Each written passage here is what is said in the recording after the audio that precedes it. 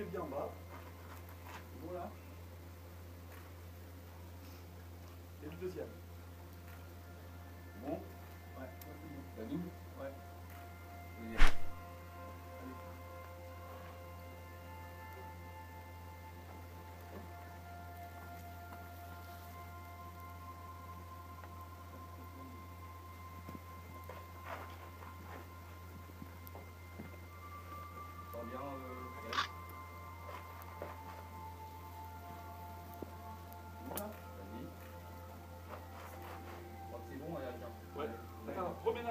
Première.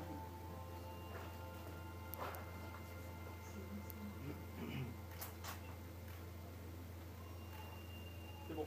Ouais. Lâche. Il arrive plus. Parfait. Mission accomplie. Bravo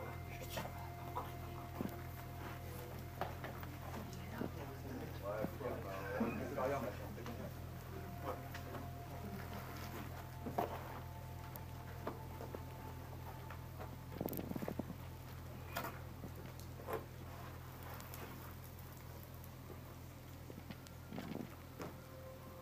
Quelle gazelle La gazelle du désert. Ouais, c'est encore plus on complexe euh, euh, au niveau de la construction, quoi. C'est. euh, Ouais, c'est que j'essaye de pas tout mettre en même temps parce que c'est assez ouais, complexe. hein, Mhm. Voilà. J'en reviens à la syénite. hein. Donc, elle compte parmi les blocs monolithes, euh, monolithes, c'est-à-dire d'un seul bloc, hein, les plus volumineux occupant la grande pyramide. Donc, euh, certaines dalles poly pèsent parfois plus de 30 tonnes. Mais bon, laissons ça de côté. Concentrons-nous sur les différentes variétés de calcaire de la grande pyramide. Pour extraire les différents types de calcaire, les bâtisseurs ont pioché dans les ressources minérales locales en prenant en compte tous les paramètres et toutes les caractéristiques géologiques liées à la tectonique locale, comme les stratifications, les fracturations naturelles, les dimensions et les volumes, en y considérant aussi la durabilité relative des roches. Euh, là, là, on voit euh, sur cette gravure un bonhomme et on voit le, euh, la carrière qui est derrière avec le, le découpage cal- des calcaires. Mhm. Donc, les bâtisseurs ont sélectionné les calcaires de Toura hein, euh, et celle adjointe d'El Mahasara, située au sud du Caire, environ 17 km de Gizeh, sur la rive est du Nil, euh, presque en face de Memphis. Donc ça, c'est pour le calcaire blanc. Ces calcaires fournissent un calcaire blanc très homogène et très esthétique, destiné exclusivement au parement des murs extérieurs et intérieurs Et intérieur. il faut pas oublier, il y a, à l'intérieur, il y a des vides. hein. Mhm. Et aux aménagements de certains recouvrements de sol de la Grande Pyramide, entre autres celui dont on vient de parler tout à l'heure. Mhm. Voire de certains blocs cyclopéens destinés notamment aux encorbellements. hein. Donc euh, l'entrée, euh, l'entrée Oui, officielle le de la Grande chevron euh, de l'entrée. Mhm. Voilà. Mhm. Donc les carriers ont su exploiter aussi en carrière à ciel ouvert le calcaire du plateau de Gizeh, autour de la Grande Pyramide, et de la pyramide médiane. Ce calcaire a été exclusivement employé comme pierre structurelle, c'est-à-dire qu'elle ne, elle n'apparaît pas à l'extérieur. Elle est à l'intérieur, elle remplit euh, l'intérieur de la Grande Pyramide. Donc elle est, elle n'est pas visible pour les raisons que j'avais évoquées, pour déjà la préserver des atteintes du temps et des aléas, des chocs thermiques et autres, du sable, hein, et, euh, et parce qu'elle n'est pas aussi jolie, puisqu'elle est un peu alvéolaire, c'est pas aussi Mhm. beau Mhm. que la finesse du calcaire euh, Blanc de Toura. ou, le blanc de, de Toura et puis de Mahasara. mhm. Donc cette euh, roche euh, calcaire assez dense, environ 2,20 tonnes par mètre cube, hein, 2 tonnes mètre cube, euh, fut parfois appelée pierre blanche d'Anou. Voilà, c'était un, de ses anciens noms. Exposé à l'air, ce calcaire revêt une patine brun-jaune clair par oxydation. Et dans certaines calcaires, les calcaires euh, euh, qui ont 50 à 150 cm d'épaisseur sont séparés par de petites couches argileuses horizontales, ce qui facilite l'extraction de ces blocs euh, hors de la calcaire, de hors de la carrière, mais qui impose aussi un, certain calibrage. hein. C'est-à-dire que si on a euh, des couches euh, naturelles horizontales qui donnent 40 cm d'épaisseur, celui qui est au-dessus fera 1m20 et ainsi de suite. Il est évident qu'on va effacer la couche d'argile hein, ou, de gypse et on va euh, conserver la couche calcaire qui est là. Et s'il y en a suffisamment à ce moment-là, ça créera une couche sur le, une, Pour une faire couche une des assises, quoi. des assises de la, de la, de la Grande Pyramide. Mhm. Donc sur la Grande Pyramide, la hauteur des degrés euh, ou des assises est toujours identique pour un même rang. On est bien d'accord, ce qu'on a expliqué. Et curieusement, elles sont de 50 à donc 1m50 de, de hauteur, ce qui correspond donc, euh, on l'a dit, donc aux hauteurs naturelles des bancs calcaires du plateau de Gizeh. L'abattage du calcaire hein, à Toura, comme à Gizeh, s'effectue sur un front de taille, à l'instar de certaines carrières souterraines en France. hein. il suffit d'aller dans le nord de Paris, et là, euh, on va en trouver, il y, a, il y a quantité. Vous allez voir des carriers, discuter avec eux, ils seront ravis, et euh, vous verrez un petit peu comment ils pratiquent. Mhm. Donc, chaque qualité de pierre est calibrée selon des critères de qualité et de dureté précis. Si les outils en France diffèrent d'avec ceux d'Égypte ancienne, en revanche, le principe de découpage est similaire. Le défermage, c'est-à-dire la technique d'abattage et d'extraction de la roche, consiste à évider verticalement les côtés des bancs de pierre à l'aide de pics. Soit on l'attaque de front, soit on peut l'attaquer de front et par le côté. Et on avance au fur et à mesure de cette manière-là. Mhm. Sur le plateau de Gizeh, le calcaire est excavé au moyen de tranchées, des découpes quadrangulaires séparées par des sillons de 40 à 50 cm de largeur subsistent par endroits et on peut les trouver très facilement sur le plateau de Gizeh. Le défermage se déroule autant que se peut à partir des fissures du banc de roche et s'accompagne de souchevage. Donc, vous vous souvenez, c'est le découpage par en dessous permettant de dégager et de détacher la base du bloc dans la géométrie de la fracturation. Toutes ces découpes respectent les orientations des diaclases et des joints de stratification. Pour être démis, les blocs d'appareillage étaient soulevés grâce à des encoches creusées à cet effet, euh, certaines euh, étant encore repérables dans les appareils. Hein, il suffit, là aussi, on peut les trouver, c'est très facile en se baladant sur le plateau. Alors certains blocs des plus volumineux pouvaient être subdivisés à la demande. On pouvait peut-être les faire grimper et à la demande, disons là il est trop gros, on va le réduire et on réutilisera euh, les, reliquats pour faire euh, autre chose. Le débardage, c'est le transport et la mise en œuvre. Donc nécessitait l'utilisation d'outils comme des traîneaux en bois de cèdre du Liban, parce que le cèdre venait, ils importaient beaucoup de cèdre du Liban. On l'a vu avec les bateaux, euh, sur les certaines poutres, etc. Et les sculptures évidemment. Et c'était monté sur des rails sur lesquels roulaient des rondins de bois. Et ces rondins de bois, donc ronds, faisaient office de roue. La roue n'existant pas, hein, mais c'était, ça faisait office de, de, roue. Et certainement que des machines adaptées comme des palans, des chèvres, ont même été employées. Euh, moi, j'ai retrouvé euh, des, des, poulies, mais assez réduites, hein, pas très grosses. Mais rien ne nous dit qu'il n'en existait pas de plus grosses, mais qui ont en bois, mais qui ont qui auraient disparu. Donc, euh, entreposés sur le site, les blocs structurels, donc les blocs qui étaient à l'intérieur de la pyramide, emportés vers le haut du chantier de la pyramide, nécessitaient encore un travail d'assemblage in fine, car leur côté n'était pas généralement parfaitement ajusté du fait des clivages encore possibles des roches au moment du bardage. Le raclement, en revanche, des blocs les uns sur les autres au moment de leur mise en place définitive sur les assises permettait de peaufiner au passage certaines surfaces planes. Cela complétait techniquement le travail d'ajustage au moment de la mise en place définitive. Alors si les faces hautes et basses de ces pierres structurelles sont parfaitement ajustées, en revanche, les côtés, donc les parties verticales, n'ont pas la précision que l'on croit, hein, pas du tout. Il subsiste généralement des écarts de plusieurs millimètres à plusieurs centimètres, voire, euh, moi j'en ai trouvé euh, de, de, de, plus presque 20 centimètres hein, de, de large. Ce qui au final, et ça c'est très important, retire au comptage des blocs constitutifs de la Grande Pyramide un certain nombre de blocs dans les longueurs et les niveaux de rangée. C'est-à-dire que si on faisait un rassemblement euh, à, à, contre de chaque bloc, on, ouais, on, on, on allait perdre quelques, ouais, on, aurait, on aurait divisé le, le nombre. Mmh. Voilà, exactement, et ça fait un nombre important. Et je vais, on va le calculer tout à l'heure. Mmh. Donc, est-ce une volonté technique pour donner plus de souplesse à toute l'infrastructure en cas de séisme, ou est-ce encore un effet de compensation de la, de la dilatation des matériaux euh, qui a lieu entre le jour et la nuit. Hein, chaleur, froideur. Mhm. Bien encore, est-ce un moyen de gagner en temps le travail? Mhm. Pourquoi pas hein. Donc le comptage des différentes assises montre qu'il en subsiste actuellement 203, donc assises euh, dans la verticalité.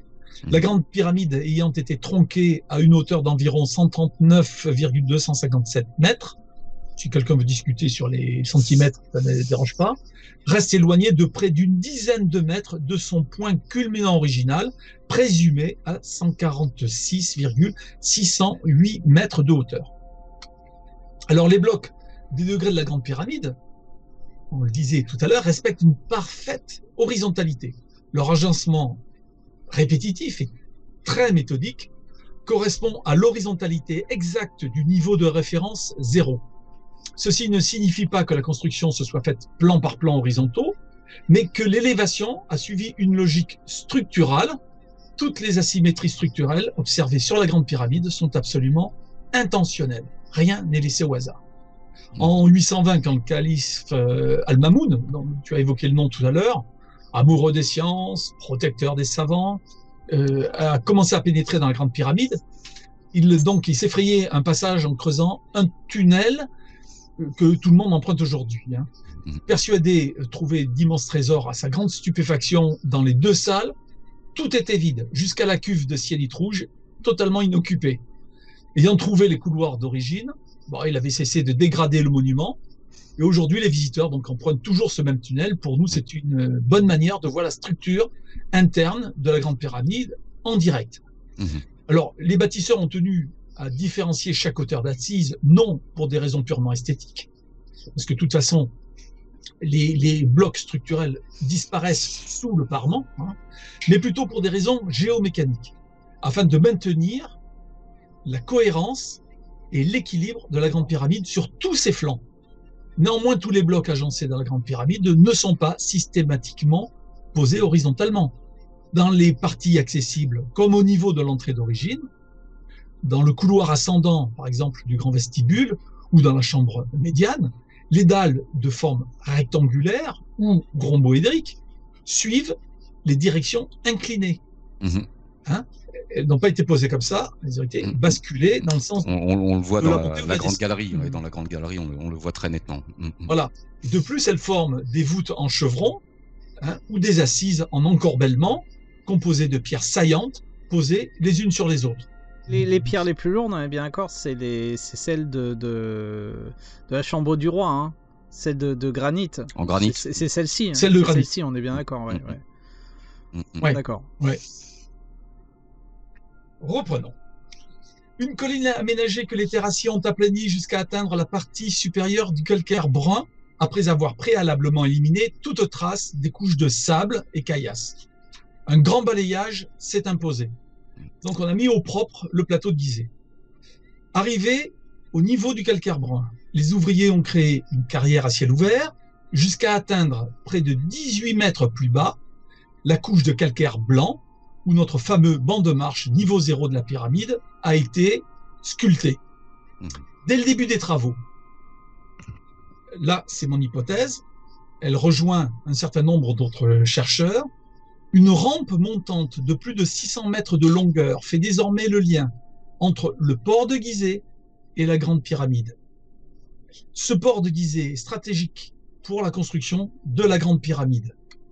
L'archéologue Pierre Taillet indique que Merer, un armateur memphite de la quatrième dynastie, notait sur ses journaux de bord que ces navires marchands euh, acheminaient des pierres issues des carrières de Toura pour approvisionner les chantiers et que son activité fonctionnait uniquement pendant les périodes de crue du Nil, de fin juillet à octobre-novembre, soit seulement 4 à 4 mois et demi par an de, de, de travail effectif. hein. Mhm. Cela signifierait que les chantiers des maçons ne fonctionnaient pas à plein temps. Pierre Taillet indique ainsi que pour leur trajet aller-retour, les bateleurs mettaient trois jours pour acheminer les blocs de pierre de Toura à Gizeh sur leur bateau construit en cèdre du Liban. Cette activité étant très organisée, la main-d'œuvre paraît aujourd'hui numériquement moins importante que celle imaginée souvent, et qu'elle n'était pas constituée d'esclaves, mais d'équipages spécialisés Mhm. et soigneusement entretenus par l'État égyptien.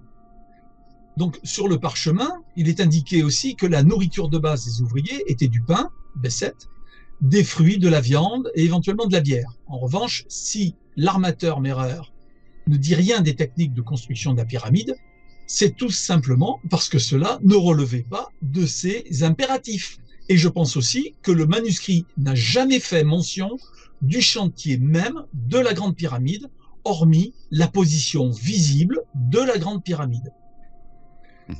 Le vaste port aux pierres de Gizeh recevait aussi d'énormes livraisons de grains, de matériel, de produits alimentaires destinés aux équipes travaillant sur le site des pyramides. Mais quand on dit le site des pyramides, on n'a jamais parlé de la grande pyramide par elle-même. Donc là, il y a un petit schéma hein, qui montre euh, la reconstitution par Goyon de la, du site La des chaussée. Avec Hein, la chaussée. la chaussée, le Mhm. port, hein, etc. Afin d'éviter l'affaissement de la structure géologique du plateau de Gizeh, qui aurait déstabilisé la Grande Pyramide, les architectes ont prévu de préserver l'intégralité du banc de calcaire blanc, et c'est là que la géologie revient à la charge. Donc là, on a un schéma qu'il faudra montrer, hein, euh, avec, euh, on voit le calcaire brun qui a été, euh, comment dire, arasé. hein. Mhm, mhm. Pour atteindre la surface du banc de calcaire blanc, les terrassiers ont décapé l'intégralité de la couche de sable et caillasse, puis du calcaire brun, trop altéré. La totalité des bancs n'a pas été néanmoins écartée, notamment dans la partie est de la Grande Pyramide, où les bâtisseurs ont laissé en réserve une partie de la couche horizontale de calcaire brun pour créer une carrière périphérique provisoire dominant le chantier de près de 15 mètres. Voilà, on le voit sur le, le schéma à gauche. Mhm. hein, on voit le, le banc calcaire et le, cette partie où nous on laissait pendre nos pieds. Voilà. Et on voit donc la base de la pyramide euh, qui est euh, donc en cours d'élévation. Donc en contrebas de la couche de calcaire brun de la carrière, qui est côte à côte de la future pyramide, le calcaire blanc mis à jour constitue une surface horizontale au centre de laquelle trône une élévation préservée, donc mise en réserve, dans le calcaire brun et qui est estimée à près de 8 mètres de hauteur. Le fameux pivot. euh, Voilà. mhm. Ce relief donc forme une surépaisseur monolithe. J'insiste, elle n'est pas construite. C'est c'est de l'enlèvement. hein. On a raclé pour laisser une réserve. hein. Préserve le banc de calcaire blanc de tout affaissement. En effet, l'axe central de la future pyramide représente une colonne de roche de près de 140 mètres, exerçant une pression centrale extrêmement importante. Cette descente de charge devant être compensée s'appuie dès lors préférentiellement sur la partie centrale la plus épaisse de la colline artificielle. Donc la les pressions latérales, évidemment, euh, la- euh, il y a une pression latérale moyenne et une euh, pression latérale extrême, qui est proche d'ailleurs du banc de marche, qui est moindre, raison pour Mhm. laquelle le banc de marche n'est pas écrasé. Mhm. Hein, Et le, le fameux trottoir de référence. Le principe est de disposer donc d'une surface au sol la plus étendue possible, afin que la charge de la grande pyramide ne se concentre pas exclusivement sur une surface centrale trop réduite. C'est ce qui s'était passé à Mykérinos. La colline s'amincit sur ses bords. Ce transfert d'énergie évite du coup la dislocation du banc calcaire. Et ce piédestal monolithe est estimé à un volume de 410 000 mètres cubes, représentant un poids total de 902 000 tonnes de pierres non déplacées, donc resté monolithe, sachant que ce reliquat de banc calcaire sculpté dans le calcaire brun a été emprunté directement dans la masse de l'affleurement. Mhm. Si l'on retire ces 410 000 mètres cubes au volume total des pierres taillées de la Grande Pyramide, estimé à l'origine à environ 2 520 000 mètres cubes, il ne resterait plus que 2 110 000 mètres cubes de pierre à empiler. Ainsi, de la masse totale de la Grande Pyramide, estimée à 6 350 400 tonnes de calcaire, il ne resterait plus que 5 448 400 tonnes de blocs taillés à charrier par les ouvriers. Et en termes d'économie de temps et d'énergie, là, je pense que pour les ouvriers à l'œuvre, cela représente un gain de temps et d'énergie très appréciable. Tu m'étonnes. Au-dessus du banc de marche, le chantier dégage progressivement une aire de manœuvre importante parce qu'il faut bouger sur le, il faut se déplacer. Hein. La surface du banc de calcaire blanc s'élargit progressivement pour atteindre environ 20 000 mètres carrés. Le transfert des premiers blocs taillés y est réalisé sur de très courtes distances. Comme la carrière est plus haute que l'aire de manœuvre, les premières pierres ont pu être transférées de la carrière à la pyramide horizontalement ou en descente.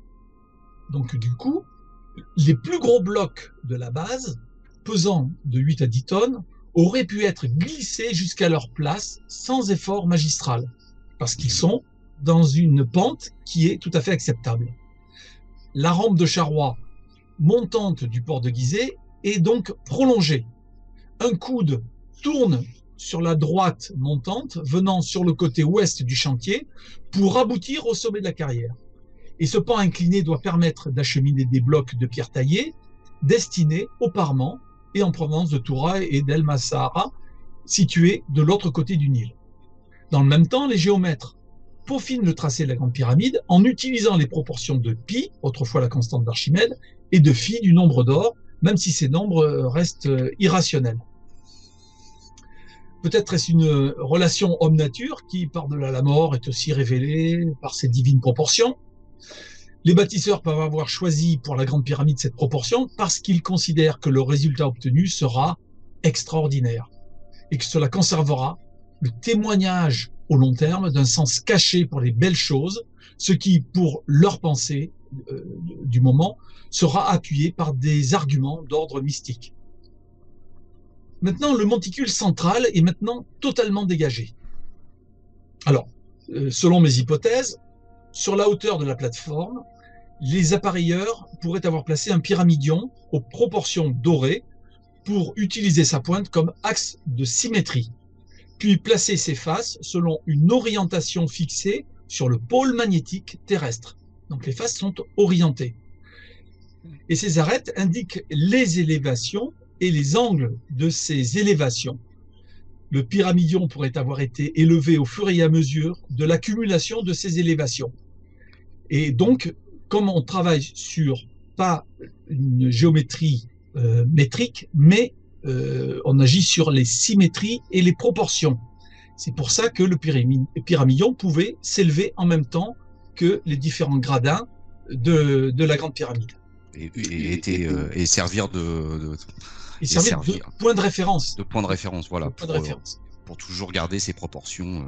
Voilà, et qui Mm. était doublé par triangulation sur le fameux trottoir qui est en bas, D'accord. toujours. Donc, les calculs mathématiques établis mettent en œuvre toute leur connaissance du moment et anticipent les exigences formalistes physiques et astronomiques. Mhm. Hein, Donc, il faut reprendre. euh, il y a un schéma, hein, vous reprendrez euh, là-dessus. Euh, ça, vous avez dû en parler euh, déjà ouais, maintes ouais, fois. Oui, oui, oui. Donc, euh, le tracé des cercles et des carrés emboîtés font appel à des mesures physiques permettant de tracer le demi-périmètre divisé par la hauteur égale à 880 coudées fois euh, sur 280 coudées, soit 3, 14, hein, 3, 142, 837, etc. Ce qui fait ressortir approximativement au millième deux constantes très proches de phi et pi, donc euh, à 1, 618. En vision à plat, apparaît un tracé carré de base s'appuyant sur un cercle circonscrit, hein, et donc un premier alignement de dalles en, en calcaire blanc forme quatre droites soigneusement alignées avec des angles de 90 degrés parfaits. Ces angles sont ajustés les uns contre les, ces dalles, pardon, sont ajustées les unes contre les autres avec une très grande précision.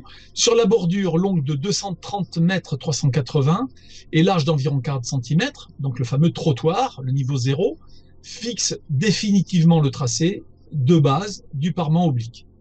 Donc il, il est couplé au pyramidion planté au centre de la pyramide. La base de la Grande Pyramide, orientée suivant les quatre points cardinaux, possède une erreur moyenne de 3 mm d'angle, l'erreur moyenne sur les angles droits de la base n'étant également que de 3 minutes, ce qui est rien du tout. Mhm. L'erreur sur l'horizontalité de la base de la Grande Pyramide, elle, a été évaluée à quelques centimètres seulement. L'égyptologue euh, Flinders Petrie a- avait déjà attiré l'attention sur l'extraordinaire précision obtenue par ces anciens géomètres et sur le fait que les quatre faces à leur base ont des mesures très légèrement différentes, soit 230,454 mètres au sud, 230,253 au nord, 230,357 à l'ouest, 230,394 à l'est. L'erreur obtenue pour un carré parfait est de seulement 20 cm, soit seulement 4,4 cm selon Mark Lehner. Mhm. Donc c'est euh, c'est absolument prodigieux. Carrément. Maintenant, si on monte sur le monticule central euh, qui est pris dans le calcaire brun, il est maintenant taillé sur tout son pourtour pour y ajuster et encraner les huit premières assises porteuses de la grande pyramide. L'observation de la matrice de la pyramide est encore possible sur la face sud de la grande pyramide parce que le revêtement oblique d'origine a malheureusement euh, quasiment disparu. Euh, probablement suite à un tremblement de terre, celui de 1301 avant Jésus-Christ, ou suite aux actions dévastatrices des marbriers sous le règne notamment du sultan turc Al-Nasir Faraj ibn Bakuk, donc euh, 1382-1399, qui après une révolte déclenchée en Syrie en 1377 euh, avait pris le pouvoir en Égypte mamelouk en se faisant proclamer sultan de la dynastie bourgite en 1382. Ça c'est pour les historiens. L'accumulation éparse des blocs de pierre montre l'étendue des dégâts. Les marbriers avaient vraiment trouvé une carrière idéale pour pouvoir en matériaux les maçons de la ville du Caire. Les premiers blocs de calcaire blanc destinés à, l'élévation du parement oblique ont pris place dans le retrait de la ligne de la bordure de référence. Cette ligne de référence zéro prend maintenant tout son sens. Seulement les blocs du parement n'ont pas encore l'aspect des pierres de, de parement que l'on imagine. Alors pourquoi y a-t-il des rondeurs sur les faces extérieures de ces blocs de parement obliques Mhm. Ben, Il s'agit de comprendre. Pour comprendre, il faut retourner à la pyramide médiane et à celle de Mykérinos pour se rendre compte du procédé mis au point par les calpineurs, ces dessinateurs spécialisés qui transforment les dessins d'architectes virtuels en plans d'exécution concrets. Les calpineurs répercutent leur travail auprès des appareilleurs, ceux qui sont chargés de mettre en, en- en place les blocs. Ceux-ci sont chargés de tracer les épures, pré- présidant à la pose et au raccordement des blocs de pierre entre elles. Chaque pierre est de forme unique et respecte la copie du calepin d'appareil. Ainsi, les calpineurs indiquent la position exacte de chaque bloc dans l'édifice, à l'endroit exact. Hein. C'est pas, on le met pas là ou là, on le met là. Mhm. Principalement ceux qui nécessitent des ajustements très précis, principalement ceux qui sont d'abord aux angles de, euh, chaque niveau, et ensuite à différents euh, axes, c'est-à-dire centraux, ou, euh, et par redivision euh, vers le centre. Euh, donc on a un assemblage mathématique et dans lequel ensuite on peut mettre les blocs de différentes tailles, euh, on va dire un peu dans le désordre. Donc la face visible de chacun des blocs de parement extérieur, donc il y a un schéma, euh, c'est-à-dire sa largeur visible, n'est pas plane et lisse, mais systématiquement arrondie, de manière suffisamment prononcée avec une surface laissée brute de taille. Ce côté du bloc est sur-allongé par deux tétons monolithes proéminents. Ces, des cordes permettent de contrôler les ajustements par de simples visées optiques directes et la pose du bloc s'effectue par roulage et ensuite par de petits mouvements saccadés qui vont permettre donc d'aligner les blocs euh, non pas sur le- le- l'extrémité arrondie des blocs, mais sur la trace oblique qui se trouve légèrement enfoncée par rapport à la forme arrondie et le bout de téton euh, qui dépasse. Mhm.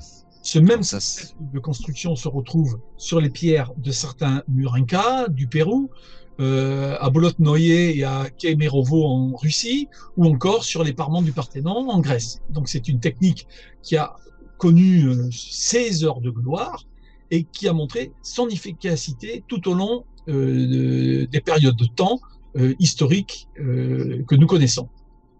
Donc ces reliefs assurent la saisie mécanique des blocs en permettant de ménager des possibilités de retrait et de calage des blocs plus sécurisés.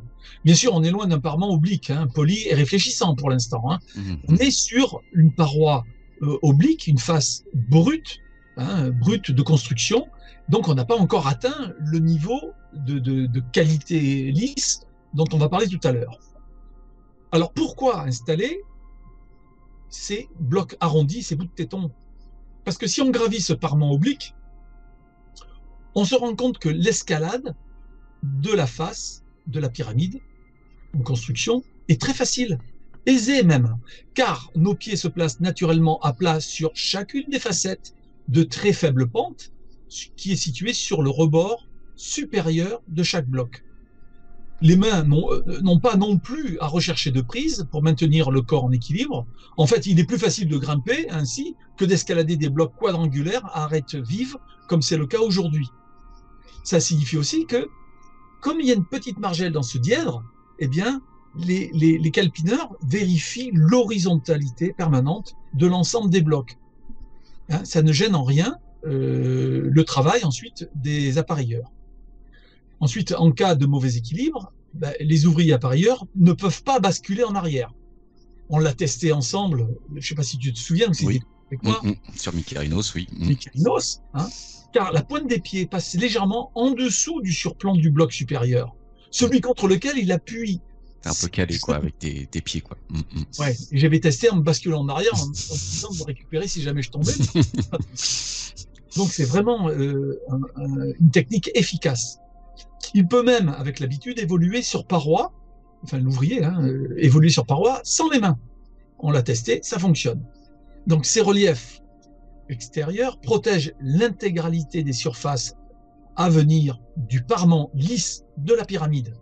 Ils agissent comme de véritables pare-chocs, laissant ricocher vers le bas les débris de construction, comme de gros éclats, des sables et des poussières, sans que cela n'affecte les futures faces lisses de la pyramide. De même et enfin, ces aspérités créent des reliefs pour aller certains blocs et au besoin hisser nourriture et boissons, voire des matériaux, sans passer par l'intérieur de la pyramide.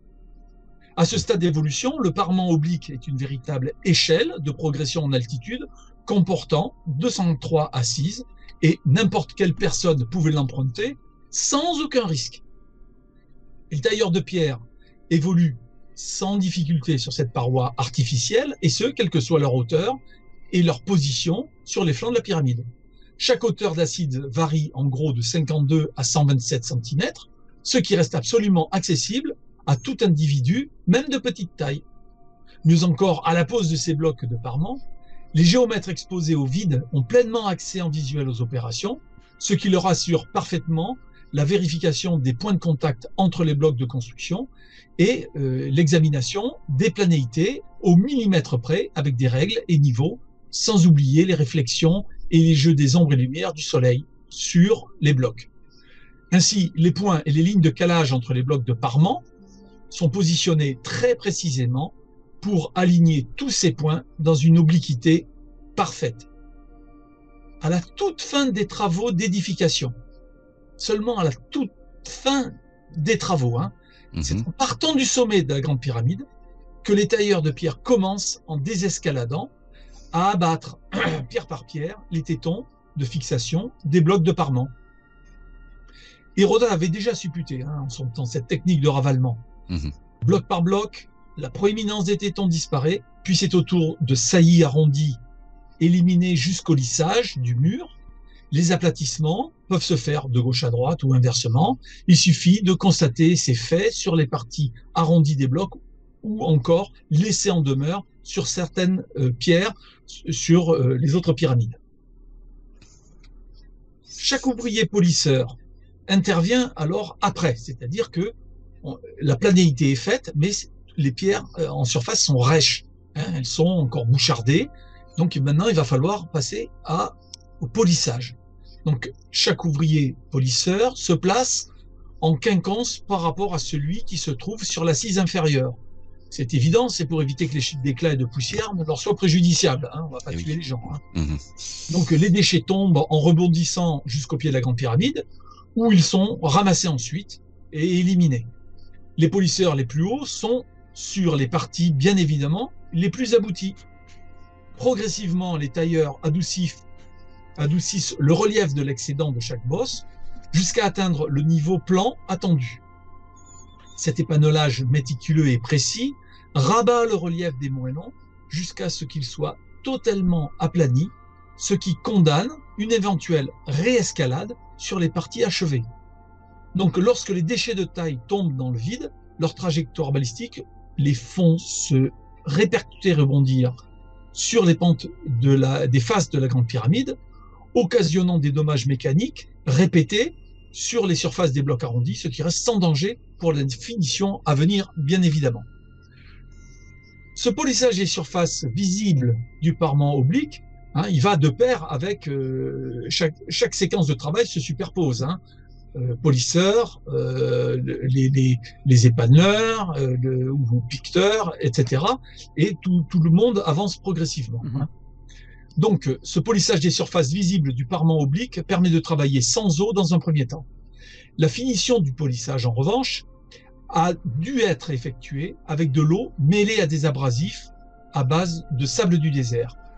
Suivant le degré de polissage, la teinte du calcaire blanc est accentuée, entraînant l'apparition d'un effet brillant, encore visible à Dachour, sur le parement de la pyramide rhomboïdale. Ce lissage de parement, exécuté à reculons du haut vers le bas, entraîne au final un lustrage parfait des huit faces de la grande pyramide. Cette séquence de travail euh, achevée, il était alors impossible d'ajouter quelconque bloc à l'édifice. Et il restait totalement utopique de remonter sur le, euh, le monument Oui, tellement après, il était lisse. Mhm. Ah. Je sais pas ce que tu en penses, mais Ah oui, non, non, mais. euh, Ouais, je vois ce que tu veux dire. Non, non, une fois que tout est lisse, euh, tu vas pas t'amuser à essayer de grimper et regrimper euh, sur, euh, sur une des faces, quoi. Euh, par contre, euh, comme euh, rampe de lancement à ski ou euh, skateboard, Ah, c'est super. la paix en bas euh, d'enfer. hein. Pour faire un skatepark. euh, Impeccable. Bon, alors stabiliser évidemment tous ces blocs de pierre n'a pas été facile, d'autant qu'il faut considérer qu'il existe des milliers de formats de blocs taillés. Hein, Il faut ajouter à ce travail extérieur celui des blocs de parement en intérieur de la pyramide et qui sont parfaitement agencés. Il s'agit des blocs de parement des couloirs et des salles parfaitement ajustés et tous ces blocs de pierre sont agencés au cœur des blocs de pierre de construction, hein, structuraux, euh, à forme très inégale en calcaire brun et pouvant peser plusieurs tonnes. Ces blocs de calcaire brun sont reconnaissables car ils conservent entre eux des intervalles de vide de quelques millimètres à près de quelques euh, centièmes euh, de millimètres. Ils sont ajustés non pas comme les, comme les blocs structuraux, mais moi j'ai tenté de mesurer certains interstices et je n'y suis pas arrivé. Donc c'est un travail de, de plaquage sur, le, le- sur les blocs structuraux qui est absolument euh, euh, prodigieux Prodigieux pour que. euh, et qui est évidemment s'est effectué en synchronicité avec l'élévation gradin par gradin de la grande pyramide. Donc des blocs de construction à peine équarris sont discernables dès l'entrée actuelle de la grande pyramide. Hein, Ils sont situés au niveau du des sixième et septième assises. Ce remplissage est perceptible en profondeur de la pyramide grâce à la percée transversale de près de 30 mètres d'Al-Mamoun, voire dans les autres sapes et dans la niche de la chambre moyenne. hein. Ces blocs de construction quadrangulaires qui constituent des assises sont aussi bien visibles de l'ensemble des côtés visibles actuels de la grande pyramide. Leur masse atteigne de 1 à euh, 1,8 à 2 tonnes et demie à peu près. Mhm. Donc ces blocs de parement intérieurs des couloirs, des chambres, de la grande galerie sont tous en calcaire blanc de Toura, exception faite de la chambre du roi, où les dalles horizontales, verticales et au plafond sont réalisées en cyanite rouge, donc cette roche magmatique contenant très peu de quartz et composée de feldspath alca- alcalin, de biotite et de hornblende. Donc tous ces minéraux étant, hormis les micas, plus durs que le calcaire. Mhm. Les blocs de parement intérieur ne sont pas tous placés horizontalement, euh, cas de certains linteaux, simples ou croisés, ou encore euh, des chevrons de la chambre haute ou de l'entrée, dont certains sont doublés en hauteur, et sont euh, d'ailleurs les, les, les premiers chevrons, il faut le rappeler, construits sur ce principe et connus dans toute l'histoire de l'architecture. C'est vraiment une innovation architecturale. Mhm. Leurs ajustages sont partiellement précis, au dixième de millimètre près, comme le montre la série de linteaux surplombant l'entrée et qui mesure 3,70 m de large, 2,70 m de haut, 90 cm d'épaisseur. Ces blocs structurels monolithes situés au niveau du 15e euh, gradin pèsent de 20 à 25 tonnes. Chose surprenante, ces linteaux sont placés au-dessus d'un étroit couloir descendant et large de 1,05 m et haut de 1,20 m, ce qui est absolument surdimensionné. Et on s'est toujours, euh, on s'est toujours demandé pourquoi avoir mis de, de tels linteaux euh, pour un petit couloir. euh, on voit pas trop l'utilité en fait. Ouais. Ou alors c'est peut-être euh, nous on voit le produit fini, mais au départ peut-être que ces sur ces linteaux qui étaient encore mis à nu étaient appuyés des plateformes sur Mhm. lesquelles on devait recevoir des blocs euh, en série euh, et Mhm. pendant longtemps hein, pour euh, il faut faire attention aux produits finis. Hein. les secrets sont en fait dans les pratiques hein, Mhm. de la grande pyramide. Mhm. Euh, bon, ça, je laisse ça à des architectes beaucoup plus doués que moi euh, de prendre des euh, affirmer ou présenter des hypothèses. Mais reprenons maintenant l'assemblage de toute la grande pyramide, hein, au préliminaire des travaux. L'ouverture de la carrière de la pyramide sur le plateau de Gizeh donne d'abord accès aux bandes calcaire brun. Le cubage et extrait au final est assez représentatif du volume de calcaire brun plus tard transféré sur la grande pyramide. Hein, donc c'est vraiment un transfert de volume de l'un sur l'autre, hein, avec une perte puisqu'il va y avoir des découpes. Hein, il va y avoir euh, euh, des, des, bris, euh, des choses qui vont pas fonctionner et qui seront rejetées sur des sur des stériles, ce qu'on appelle des choses qui serviront à rien et qui seront plus tard éliminées, mais on ne sait pas où. Donc sur le plateau de Gizeh, l'extraction se poursuit jusqu'au banc calcaire blanc, on en a parlé, identique à celui de Toura. Les premières dalles calcaire blanc étant prélevées à la surface du banc de marche sont destinées en priorité à mettre en place la bande de référence zéro de la pyramide avant l'arrivée des pierres de parement de Toura. D'autres dalles couvriront postérieurement le banc de marche pour créer un parement de pierre polygonal autobloquant. Au cours du dégagement du socle calcaire, les bâtisseurs laissent en réserve une élévation centrale s'élevant donc à près de 8 mètres de hauteur. Hein, donc euh, l'horizontalité du banc de référence réussie. Le calcaire brun de Gizeh recouvre peu à peu les degrés creusés dans la colline artificielle, dont l'élévation atteint la huitième, voire la dix- le dixième gradin de la grande pyramide. Le calcaire blanc de Toura n'est encore pas livré. Le couloir descendant vers la chambre basse est en cours de creusement, voire avait déjà été creusé en préalable. Mhm. Ça, c'est tout à fait possible aussi. Mhm. Et le, le- cette, euh, cette chambre basse, euh, ensuite, euh, a été prolongée par le- les assises de la Grande Pyramide et récupérée. Voilà, ce qui pourrait expliquer qu'elle n'ait pas été terminée. Et il faut être prudent sur son utilisation. hein. Voilà. Donc une rampe compense le vide entre la pyramide et le haut de la carrière sud avec les déchets de taille. C'est-à-dire que tout ce qui a été, euh, les stériles ont été regroupés et placés entre les premières élévations de la grande pyramide et la hauteur de la carrière qui, n'est qui, qui existe encore, mais qui évidemment a disparu aujourd'hui. hein. Donc les premiers blocs de parement arrivent de Toura pour recouvrir le plan du niveau zéro de la pyramide et progressivement ils effacent à la vue les blocs de construction et les blocs structuraux et l'avancée des travaux est assez rapide car la présence de la colline artificielle limite le cubage des blocs de construction à transporter une courte rampe euh, basse euh, ici Mhm. Mhm. de- hein, une courte rampe basse de glissement est mise en place pour emporter les pierres du sommet du, chan- euh, du chantier et par translation vers la pyramide. Maintenant, le socle de la pyramide est parfaitement stabilisé.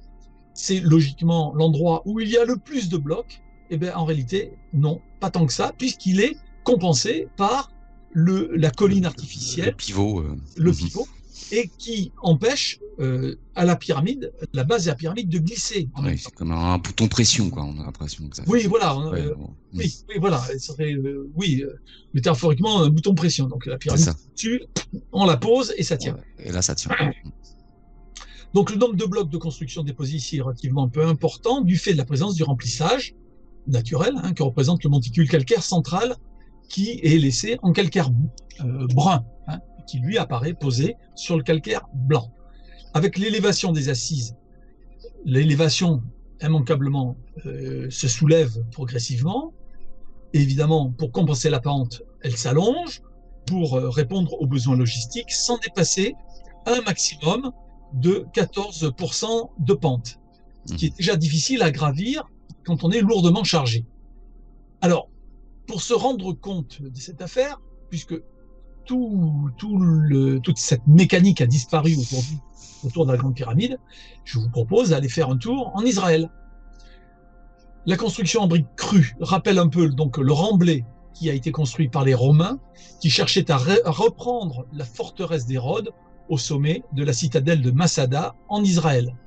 Cette euh, euh, citadelle avait été euh, occupée, hein, euh, prise par un groupe de rebelles juifs, ce qu'on appelle les sicaires, euh, du parti zélote. Au cours de cette reprise euh, de la position romaine, environ euh, 8000 légionnaires construisent un mur d'encerclement autour de la citadelle de Masada. Puis, ça, ça fonctionne pas bien, et ils décident de créer une élévation, donc en formant une rampe de 100 mètres de hauteur, 100 mètres de hauteur. hein.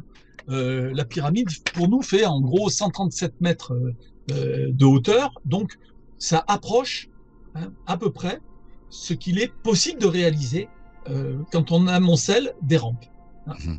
Donc, l'élévation de cette rampe de 100 mètres de hauteur est jetée contre la face ouest du plateau de Masada.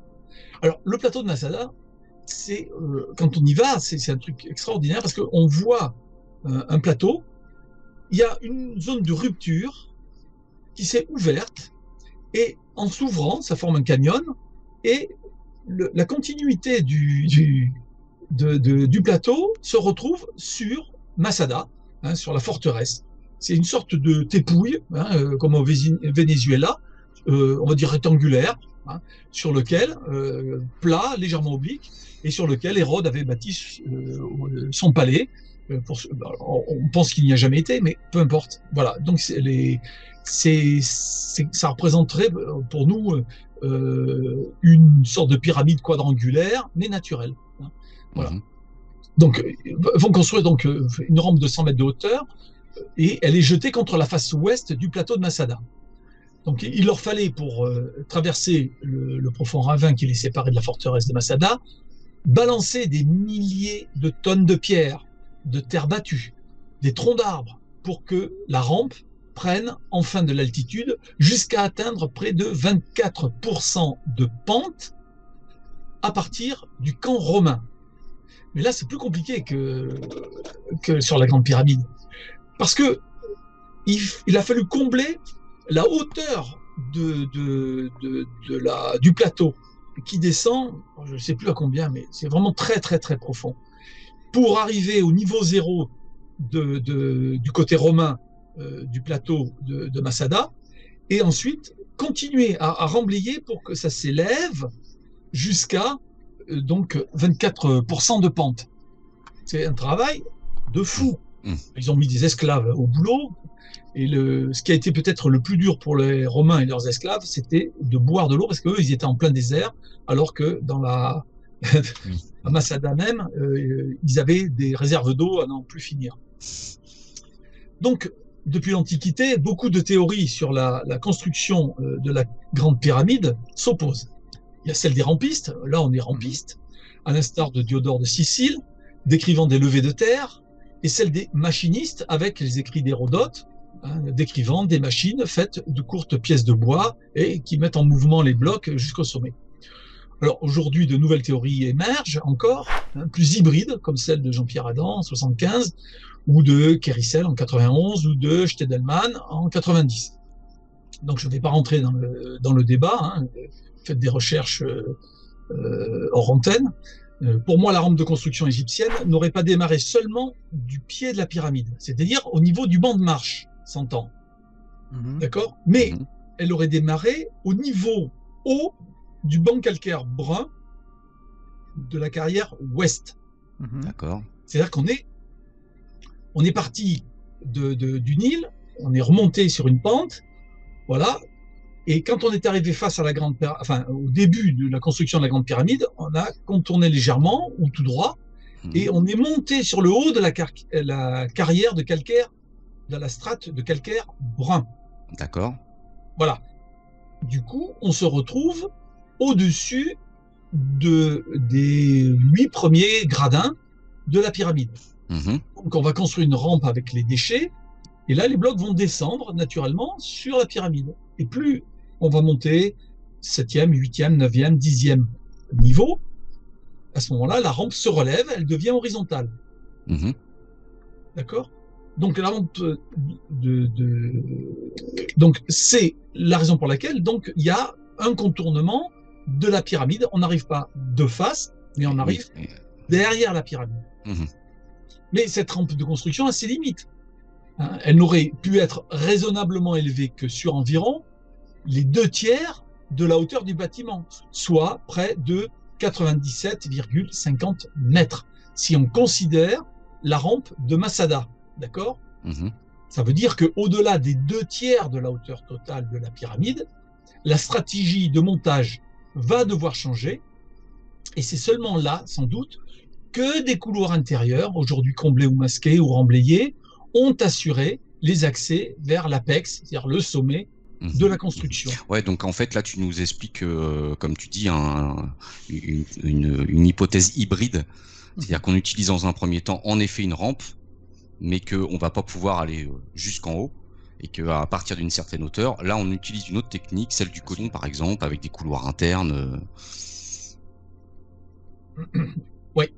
Ok. Et voir euh, si on a déjà commencé à, à prépolir, voir euh, par le système des, des systèmes de poids contre poids, hein, c'est-à-dire que euh, on attacherait peut-être éventuellement des blocs sur des gros rondins de bois, on ferait passer des câbles et il y aurait une série de, de, de, de groupes de personnes qui feraient euh, à elles toutes euh, ensemble, hein, évidemment c'est un travail commun, un contrepoids qui permettrait de monter les blocs euh, jusqu'au sommet Mhm. sachant que là, tout ce qui touche la pyramide terminale, hein, euh, ce sont des blocs assez réduits. Hein, pas, ce sont pas des blocs monumentaux. Donc, ça ne demande pas euh, des efforts, euh, euh, des efforts, comment dire, euh, conjugués euh, euh, complètement impensables. Mhm, mhm, mhm.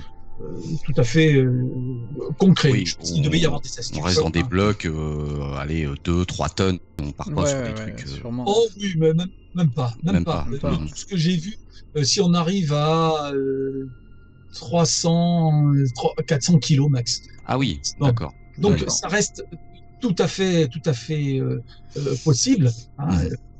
Alors maintenant, comme on dit, poser le dernier bloc, euh, le pyramidion, s'il a existé en haut, là, je me dis, c'est un coup de force. Euh, il- il- il- je pense qu'il savait faire. Le, le fameux pyramidion qu'ils ont utilisé tout au long du chantier, qu'on Ouais, va ils l'ont amené jusqu'en haut. Quoi. par Ah exemple.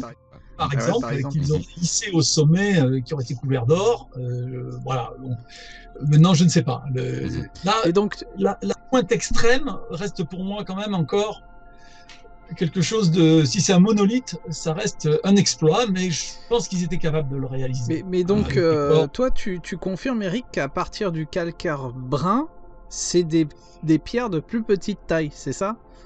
À partir Ouais, de- quand on arrive-. Oui, le, le calcaire brun est structural, hein, Mhm. d'accord? Ouais, ouais. Mhm. Donc, on va le monter, le monter, le monter jusqu'au niveau connu a- actuellement. ouais. hein. Et puis ensuite, on va plaquer le, euh, le calcaire blanc, Blanc. de Mm. parement. Parement, Ouais, ouais, c'est-à-dire qu'on applique à l'extérieur pour masquer les infrastructures. Mhm. Mhm. Mais euh, Voilà. je parle du niveau. À partir de ce niveau-là, du calcaire brun. Ah non, non, non, c'est au niveau de la, euh, le, comment, le, le maximum de la, la hauteur de la rampe. Oui, oui, mais euh, c'est. C'est les- les deux tiers, ouais, quoi. ouais. Et à Voilà. partir de ce moment-là, là, on part sur, euh, sur une taille de bloc plus, petite. Mais c'est vrai Voilà. qu'on n'y a Ah, jamais après, c'est pensé. plus possible.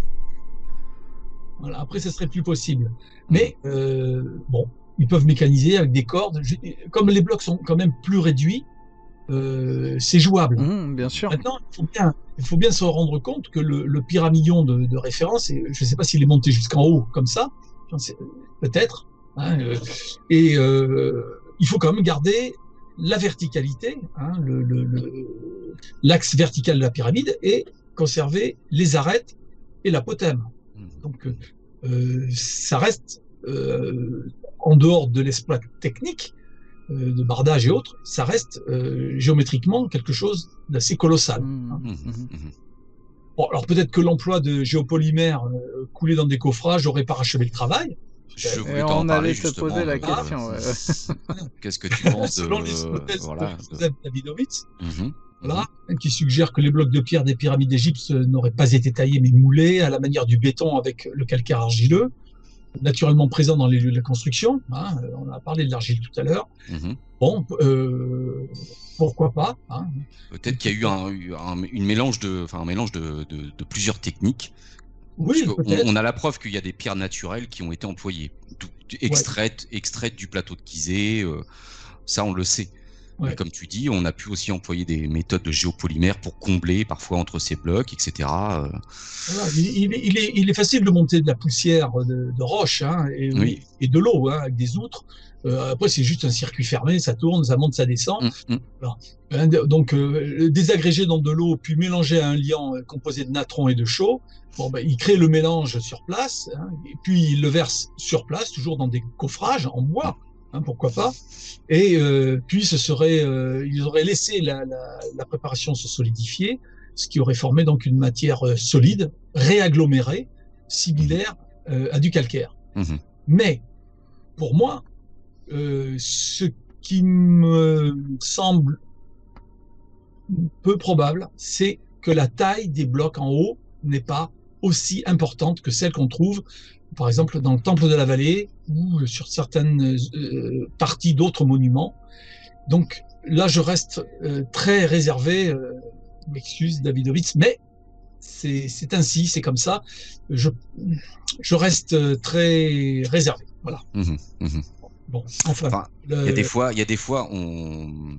moi je pense que cette technique a été, enfin ça, c'est mon, mon avis, je pense que cette technique C'est au, au niveau du temple de la vallée, hein, quand tu vois, euh, tu vois le, le parement de granit euh, et que tu vois le, le, le calcaire qui est derrière, qui, semble un petit peu épouser le, le, le, le granit. Tu te dis, il se serait embêté à, à tailler le, le calcaire pour qu'il épouse parfaitement la, la face. euh, la face euh, non lisse du, du granit qui ne se voit pas, hein, puisque c'est à l'intérieur. Alors que le- la technique du géopolymère euh, comment, nous apporterait une explication par rapport au fait que le calcaire vient épouser parfaitement la forme du granit. Écoute, euh, je sais que toute euh, quand, quand, quand on recrée une roche, euh, elle se stabilise d'elle-même, Mhm, mais sur des milliers d'années, elle va évoluer. mhm, Et je pense que comme elle n'a pas subi les compressions naturelles, elle n'a pas subi les contraintes, tu sais, géologiques Oui, qu'on parlait tout à l'heure. tout à l'heure, euh, à mon avis, elle a plus de chances de, de disparaître. Euh, L'érosion euh, du vent, les chocs thermiques, les insectes, etc., vont dissoudre ce calcaire beaucoup plus rapidement. Et ça aura des effets néfastes euh, à la longue euh, sur la grande pyramide. Sur la structure. Pour ça, mhm, mhm. Je reste très réservé. Maintenant, c'est une belle hypothèse. Elle est très séduisante. Euh, moi, j'ai jamais pu analyser euh, en la mince le, le travail de Davidovitz et pour le comparer à du calcaire euh, pris autour du plateau de Gizeh, euh, en dehors de la zone archéologique. Euh, donc, je reste, euh, voilà, je reste pour l'instant euh, sans véritable réponse. D'accord. Mais c'est une belle hypothèse et euh, sur certains sites, ça pose problème. C'est, enfin, j'aimerais qu'on trouve de véritables réponses. Quoi.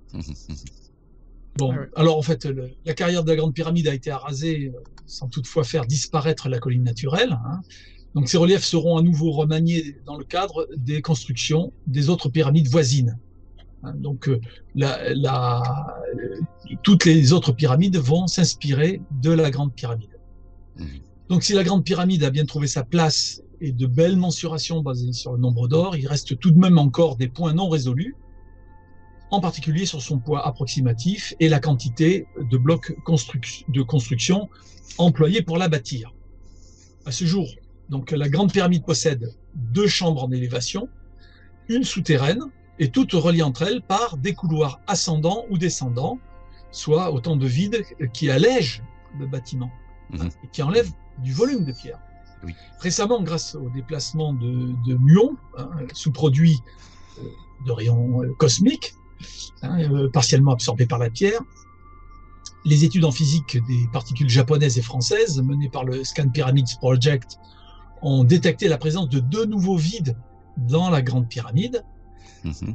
Un au niveau du haut de l'entrée principale originelle, qui est connu, Mhm. et un second qui, lui, euh, est apparu au-dessus du couloir oblique menant à la chambre haute. La plus grande différence de densité aurait 30 mètres de longueur au minimum, avec une largeur similaire à celle de la Grande Pyramide, mesurant près de 8 mètres de hauteur sur près d'un mètre de large. De la là, un mystère se lève, un autre se soulève. hein. Mhm. Donc ces parties non visibles, car non accessibles pour l'instant, pourraient être effectivement des cavités techniques, pouvant avoir servi à acheminer en interne des blocs de matériaux en cours, au cours de la construction. Euh, comme ils sont placés derrière un écran d'environ une bonne dizaine de blocs, ces parties ont été ensuite bourrées probablement de gravats calibrés, angulaires, qui auraient servi hein, euh, peut-être à stabiliser le bâtiment au long terme. Cela signifierait aussi qu'un grand nombre de blocs de construction n'ont pas été placés normalement. Hein, C'est-à-dire que les gravats compensant les vides, la quantité de matériaux taillés a donc diminué aussi. Mhm. Soit un gain de temps de travail dans la réalisation de la pyramide. Mhm. Oui, parce que je tiens, je Oui. tiens à préciser, comme en scan pyramide, euh, euh, avec leur technique euh, des, des muons, ils précisent bien que ça leur permet de détecter des différences de densité. Absolument. Ça veut dire que c'est un vide. On a, sou- on a souvent, suite à, à leur découverte, on, on a appelé ça le big void. hein, tout de suite, on, on imaginait une cavité, euh, un vide. Mais non, c'était peut-être, comme tu le dis, un, un remblai, euh, une cavité qui a été remblayée avec, euh, comme tu dis, des gravats, etc. Et donc, eux, dans leur lecture de, de, de toutes les données qu'ils ont recueillies, ils ont vu qu'il y avait une densité, de, une différence de densité. Carrément. Net. Oui, oui, tout à fait. Mais ça, ça veut pas dire que c'est un vide. Voilà. Alors, euh, c'est remblai, si tu veux. Euh, En termes de, de, de, de carrière, on appelle ça des bourrages. Hein. Mhm. euh, ont, ont dû se tasser au cours des siècles. D'accord? Donc, euh, ils ont libéré à nouveau des espaces creux, comme Aussi. celui situé au-dessus de la porte d'entrée originale, et probablement celui situé au-dessus du grand corridor. Mhm. Mhm. Euh, Cela signifie que ces vides présentent des tassements de bourrage très importants. Le- Des sables ont fluidifié, ils se sont glissés dans les interstices laissés dans le calcaire brun, Mhm. et ce qui, si bien que euh, le, ces vides sont apparus, mais en fait se sont répandus à travers les blocs structurels, mais n'ont pas impacté les blocs de parement intérieur et extérieur. Mhm. D'où un nouveau mystère. Bon, euh, Oui. voilà, ça, Mhm. ça intéresse euh, ta télé puisque elle porte ce nom-là, Mhm. mystère. C'est ça, C'est un Monde, mystérieux. Un nouveau monde mystérieux. ouais, ouais, Voilà. ouais, carrément. Carrément. Voilà. C'est vrai que c'est intéressant. Donc, euh, si l'on retire maintenant tous ces vides au poids total de la construction, que, euh, que j'ai estimé environ à 5 448 400 tonnes, c'est une estime, hein, Mhm. on n'arrive maintenant plus qu'à 5 442 285 millions de tonnes, soit un gain de poids d'environ 6 115 tonnes, ce qui représente environ 2500 blocs de taille à éviter de déplacer et à ajuster. C'est pas rien, parce qu'avec rien. on peut construire déjà une petite pyramide. hein. Mhm, mhm. Bon, ces mesures ne tiennent pas compte des vides interstitiels situés dans les réseaux des degrés et insérés entre un très grand nombre de pierres de construction et qui seraient de l'ordre de 0,4% environ de la masse totale de la pyramide. Ce qui au final donnerait un poids de euh, 5 420 421 tonnes de pierres de construction. Donc on, descend euh, vraiment euh, en termes de, poids et de nombre de pierres euh, dans l'ensemble. Donc, il semblerait que le principe d'économie d'effort physique n'aurait pas concerné le travail des bâtisseurs de la Grande Pyramide, ni même l'économie de la maîtrise des manœuvres logistiques qui a largement participé à la tâche de l'œuvre à bâtir.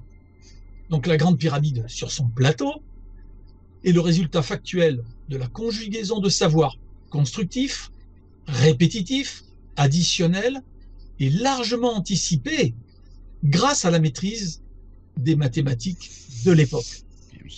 Et si le rôle des mathématiques permet de conjecturer, elles ne répondent toujours pas à la rapidité d'accomplissement du monument, ni au savoir-faire éblouissant de ces constructeurs, capables de mener des groupes de travail spécialisés et très pertinents. Aujourd'hui, on peut dire que la Grande Pyramide échappe encore à l'entendement de chacun d'entre nous, au point que la question reste posée de savoir si elle ne serait pas la réalisation magistrale d'une population bien antérieure à la nôtre, de gens capables de maîtriser l'alliance des mathématiques opérationnelles en se jouant sans peine des stratégies associant abstraction et concrétisation. Quelques 45 siècles après leur construction, malgré le nombre considérable d'observations et de recherches qui leur ont été consacrées, les pyramides d'Égypte, suscitant toujours notre interrogation sur les techniques mises en œuvre pour leur construction. Les grandes pyramides lisses entrent dans un continuum technique, certes pas linéaire, mais remontant au moins au début du néolithique du Proche-Orient, entre 10 040 et 8 940 avant Jésus-Christ, en s'étendant à d'autres constructions pyramidales dans d'autres civilisations. Comme on peut le voir euh, hors d'Égypte, au sud-est de l'Anatolie, dans la région de l'actuelle Turquie, située près de la frontière avec la Syrie, le toponyme turc de ce site, Göbekli Tepe, signifie colline au nombril, en référence à sa forme.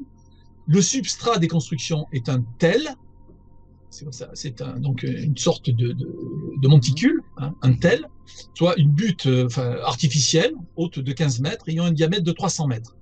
Ce site est basé sur une méthode universelle de construction parfaitement planifiée, dite d'accrétion exaucement, qui génère, ordonne et formalise l'ensemble des édifices tumulaires, hein, donc des tumulus, des tumuli, y compris les pyramides à degrés, dans le temps et dans l'espace. En revanche, cela ne nous dit rien comment a pu être atteinte l'extrême précision mathématique de la Grande Pyramide, ce qui remet toujours en cause ce continuum technique et laisse penser encore à la présence d'une civilisation évoluée, bien antérieure. Mais ce qui est à mon avis le plus extraordinaire encore, c'est cette présence de la pierre construite dans une nature déserte, extrême, manifestant le sacré au travers d'un géométrisme irréprochable et prismatique, celui-là même retrouvé dans des espèces minérales comme les cristaux de diamant, de fluorite ou de magnétite. Et voilà, c'est fini. Eh bien, Eh ben c'est Eh ben là, c'est oui. c'est du lourd, c'est du lourd. Franchement, c'est- oui, euh, oui. Mais là, euh, tu vois, tu, avec tout ça, j'espère, on on, on- prend un petit peu, euh, on commence à prendre conscience du, du gigantisme de cette construction et de toute la logistique qu'il a fallu mettre en place. Parce que attention, là, euh, et comme tu le dis, il y avait euh, certainement euh, des ouvriers qui étaient euh, dédiés à la construction de la rampe, hein, comme tu la présumes, d'autres ouvriers qui eux allaient comment débiter dans le plateau rocheux ce, calcaire brun, d'autres ouvriers qui eux étaient chargés de, de l'acheminement. D'autres ouvriers encore plus tard qui eux allaient dans d'autres carrières beaucoup plus loin, comme à Assouan ou comme euh, à Toura, pour euh, d'autres. Et tout ça en plus, euh, là où la, prouesse technique, il fallait parce que on parle de, la construction de la pyramide, mais dans tout ça, il fallait aussi prendre en compte toute la structure interne au fur et à mesure de l'élévation du monument. Et il ne faut pas oublier que le travail de bardage, hein, de transport des, des, blocs, ne pouvait se faire qu'au moment des crues du Nil. En plus, comme tu le dis, 4 mois, euh, 4 mois, 4 mois et demi dans l'année. Et on a Alors... beaucoup parlé du, du, du calcaire, mais mmh. il y a le granit aussi qui est acheminé en permanence. Calqui mmh. euh, mmh. Granit rouge, pas un autre, le rouge, hein, essentiellement, qui est la pierre, la roche précieuse des pharaons.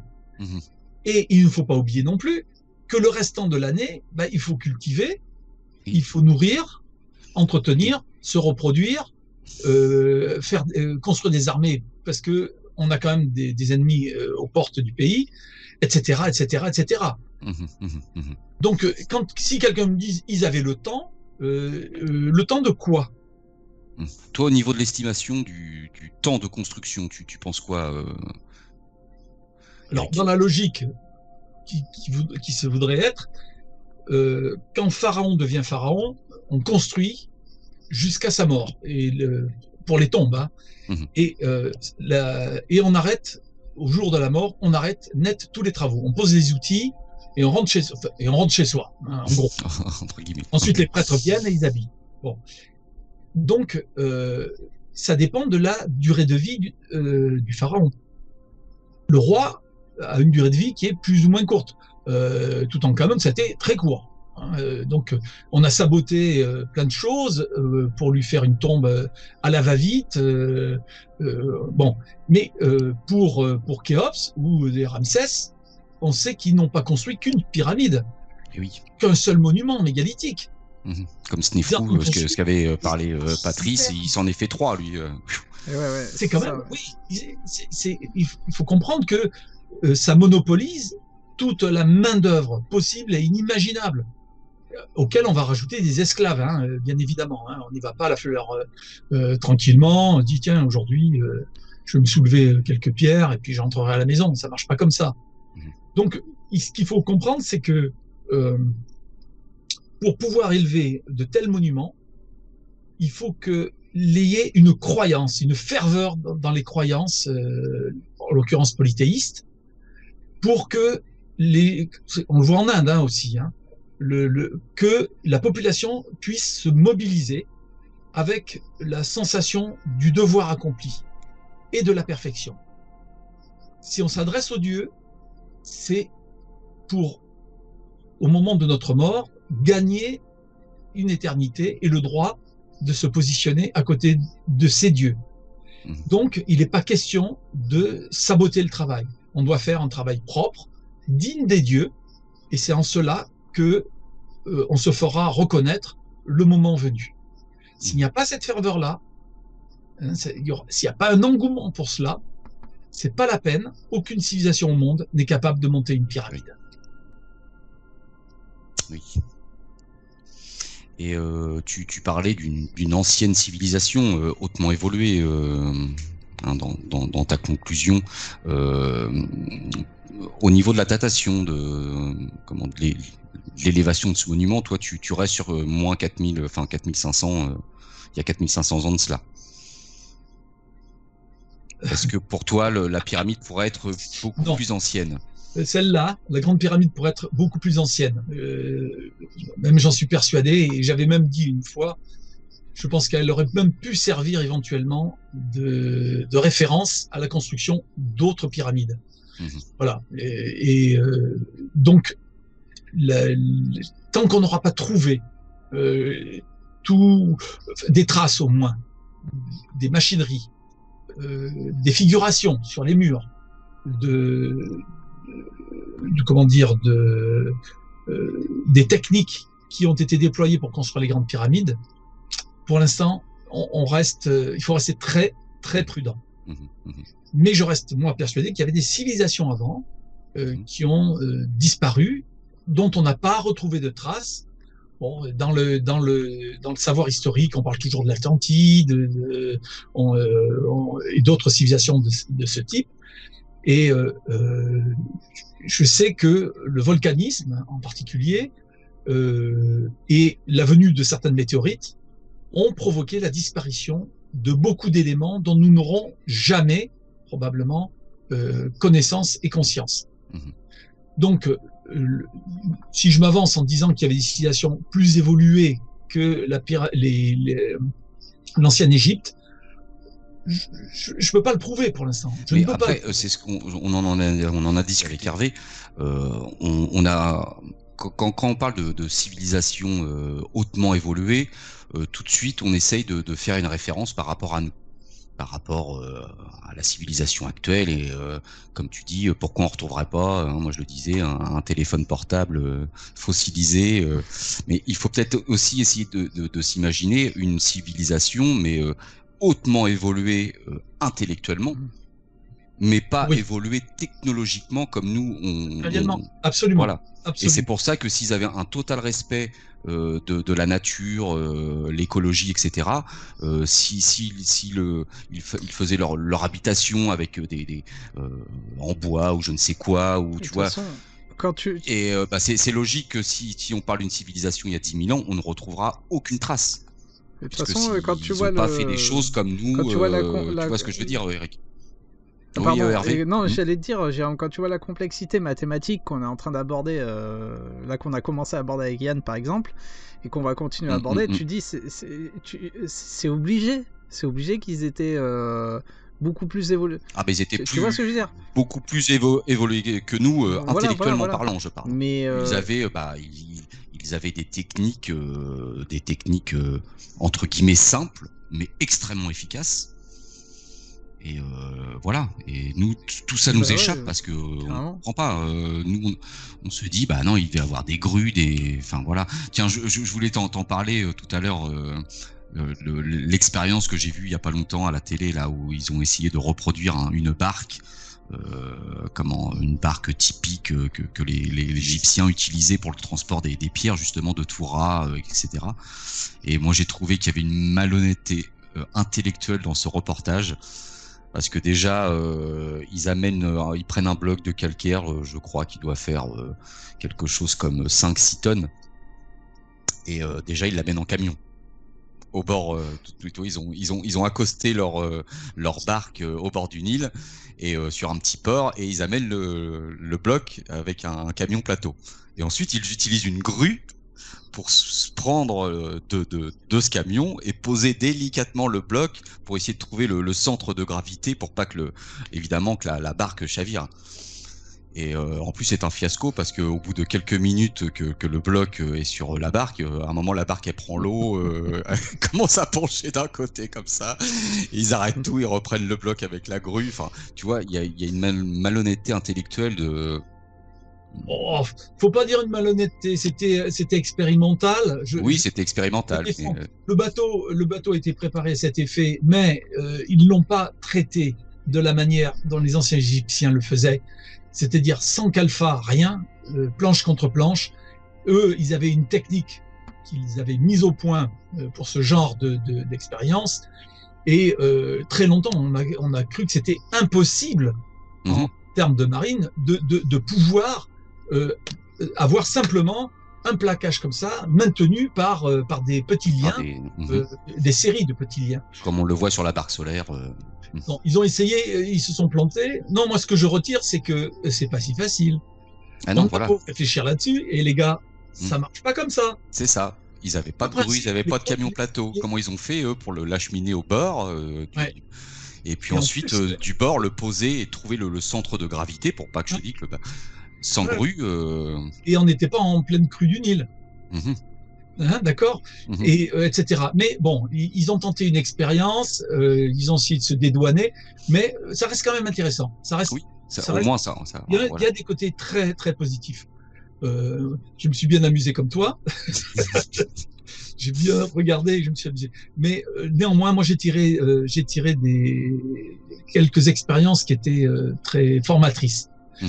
Maintenant, il faut savoir que euh, dans les Perses ont voulu attaquer les Grecs hein, euh, euh, comment il s'appelait, bon sang euh, Périclès. Quand les Grecs ont voulu attaquer Périclès, ils, ont détourné leur le- leur chemin et ils ont créé une série de ponts montés sur des barges. C'est la première fois dans l'histoire que ça, ça avait été créé. Donc euh, l'armée utilise ça aujourd'hui, hein, euh, ou euh, les pompiers. Enfin, donc on, a, on aligne une série de, de barges, on couvre avec avec des planches, on les relie et puis on crée un pont artificiel de la longueur qu'il faut et on fait passer les armées dessus. Mhm. On fait passer du matériel, peu importe. Donc euh, ce système, euh, on est chez les Grecs, évidemment, c'est très tardif par rapport euh, à ce que pouvaient faire, euh, on peut imaginer chez les Égyptiens. Mais connaissant le, leur qualité de, fabrication, les qualités de fabrication par les charpentiers de marine, je me dis pourquoi pas? Ils auraient très bien pu fabriquer euh, des ponts qui traversaient des distances de, euh, quelques centaines de mètres euh, pour euh, accéder jusqu'à jusqu'au port et, euh, et décharger sur le port euh, de manière presque horizontale. J'ai- ça, ça, une hypothèse qui ne me dérangerait absolument pas. Auquel cas, ils auraient des bateaux peut-être plus petits, comme celui qu'on a vu justement dans ce court métrage ou dans ce documentaire, et mais en les associant les uns à côté des autres. Et là, euh, en, en- par roulage, ils pouvaient faire euh, passer des blocs. Il y aurait eu aucun problème, à mon sens. Euh, le- euh, mais pourquoi pas?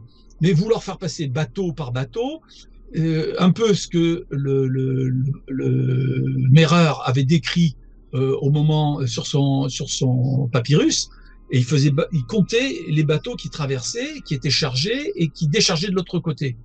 Mhm. Bon, est-ce qu'il déchargeait des blocs de la taille de ceux que nous imaginons? J'en doute. J'en doute. Et en plus, il mettait trois jours, d'après le manuscrit, pour traverser d'un bord à l'autre. Mhm. C'est une opération lourde. C'est-à-dire qu'il fallait prendre de grandes précautions pour pouvoir effectivement faire glisser en translation les, les, les produits, les déposer sur le bateau sans le faire couler, et ensuite emmener en bac, c'est-à-dire euh, en, en opposant le, roche- le, le bateau euh, au courant tout doucement, euh, en faisant bien attention à contrôler le, le déplacement, pour venir plaquer contre le quai et décharger à ce moment-là. Mhm. Bon, on peut penser, on peut tout penser. Mais quand on, moi je vois les bateaux, euh, les bateaux qui sont euh, dans les musées actuellement en Égypte, je me dis ils sont capables de tout. Euh, Mhm. Mhm. Les grandes barques euh, dites solaires, elles sont tellement longues. On pouvait charger effectivement, mais peut-être que c'était des sortes de catamarans. Hein, je veux dire, euh. Mhm. des successions de euh, multicoques par exemple, ou, ou alors un pont carrément euh, fait de euh, fait de, de, de coques de bateau, parce qu'il n'y a même pas besoin de faire le bateau, mais juste les coques pour euh, barder le, le, le matériel Mhm. tout imaginer. Mais Oui. il est bien que des, des, des gens tentent des expériences. Oui, oui, après, je, je me, je Non, me, je dans me les- moque pas d'eux, voilà. C'était juste pour dans dire, euh, malheureuse se trouve la solution. Et euh, moi, j'étais ravi de voir ça. Je me suis bien marré. Euh, mais euh, à leur dépend. Mais c'est mais c'est pas méchant. Je veux dire, j'ai appris, je reconnais avoir appris beaucoup de choses grâce à eux. Donc c'était, moi c'est ce côté sympa que je trouve. Euh, voilà, de, de même ceux qui avaient construit le pyramide euh, oui, le, le, CNRS, le en pro- le projet Nova, là, la petite pyramide. voilà, qui s'est écroulé. Alors là, là, c'était risible au possible. Et Non, mais au moins, c'est bien de faire ouais, ce, ouais. ce, ce genre de, de- d'expérience pour, euh, voilà, Voilà. pour comprendre ce qu'ils ne, ce qu'ils n'ont pas fait. Sûr. en fait. voilà. J'avais Bah, une écoute, petite euh, question, hein. moi. Ouais, vas-y. Euh, je- euh, Hervé. Alors en fait, c'est, je, je repars du début de tes explications, Eric, parce que c'est très très intéressant. Tu es au courant que il y a trois ans environ, ils ont découvert. alors moi, je pars de l'autre côté du, du monde, dans la pyramide de Chichen Itza, qu'il y avait aussi un, comment on peut dire, Jérôme, un pivot, c'est ça aussi, un, un espèce de Alors, il y a le cénote. Ouais, il y a le, qui est en ça c'est ça a été découvert euh, il y a pas très longtemps, mais euh, Mais, c'est- Mais en fait, des- des- oh, ouais, les, gros Mm. trous euh, remplis d'eau en fait. Euh, Mais Oui, au niveau de la conception, il y a un- une espèce voilà, de pivot ça. central aussi. Ils ont euh, découvert il y a quoi Il y a trois ans qu'il y avait euh, ben, un pivot central. euh, une première couche donc euh, de la pyramide qui a été euh, réalisée, une deuxième et une, tro- et une troisième telle qu'elle est actuellement. euh. Donc euh, bon, que, euh, il- ça a été prouvé, hein, pareil, euh, ça a été scanné euh, euh, scientifiquement et tout ça. Qu'est-ce que tu penses de ça, Eric? Par exemple, tu te dis, bon, si c'est le cas, euh, donc ils avaient un, des mêmes techniques, ces gens-là, et, et du coup, euh, qu'est-ce que tu penses de ça euh, Ça remet. euh, Parce qu'il y a une transmission de savoir. voilà, euh, ouais, oui. par exemple.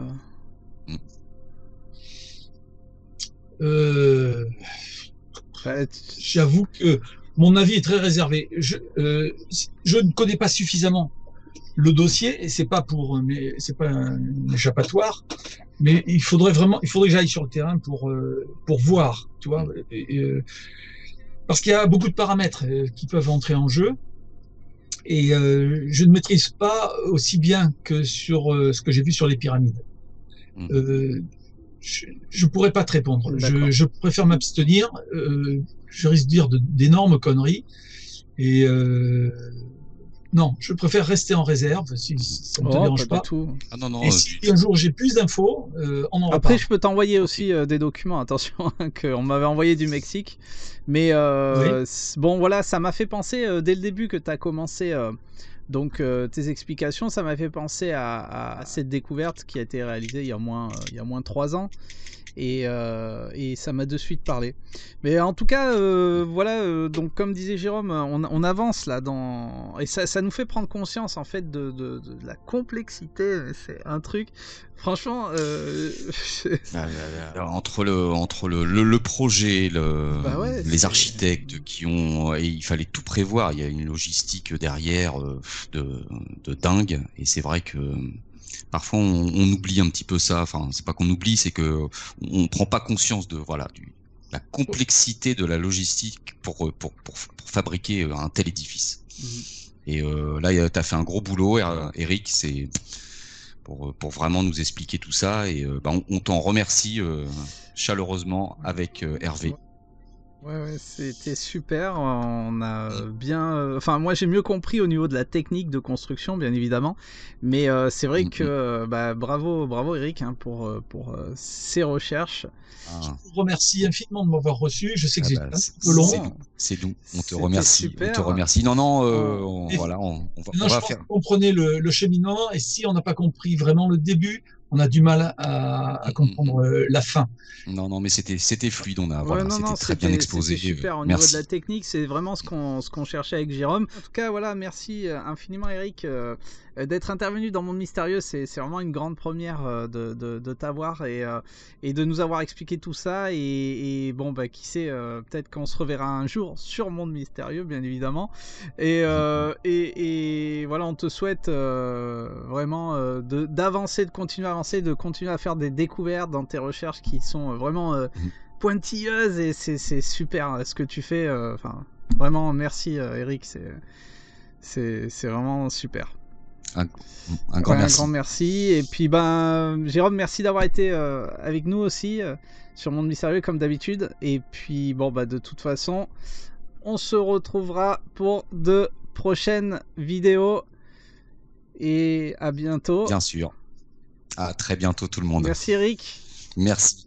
Merci Eric. c'est gentil. À bientôt tout le monde. Salut.